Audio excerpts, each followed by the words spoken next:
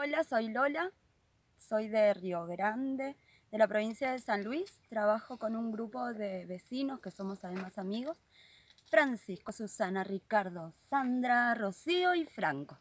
Y entre todos empezamos este proyecto en común, además de trabajar cada uno en lo suyo, eh, con la chacra al principio, después con el invernadero y ahora ampliamos lo que era del invernadero, lo trajimos para afuera y vamos produciendo para autoabastecernos en principio y rúcula, rabanito y hay otras también que se dan así bastantes, entonces lo que es excedente tratamos de comercializarlo entre los mismos vecinos acá del pueblo.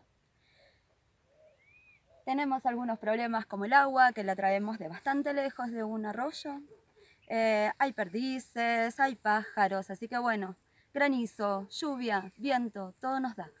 Entonces de a poco lo vamos resolviendo así en la medida de lo posible y como verán con lo que tenemos.